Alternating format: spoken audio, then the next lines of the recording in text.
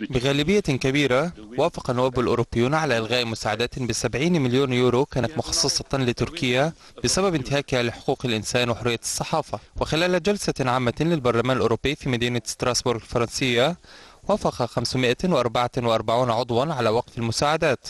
ويرى النواب الأوروبيون أن الإجراءات التي تتخذها حكومة أنقرة تبعد الدولة التركية عن الاتحاد الأوروبي وأن المعايير الديمقراطية تتراجع والحقوق الأساسية تتعرض للانتهاك. وما يعني أن الاتحاد الأوروبي لا يمكنه منح الأموال لأنقرة.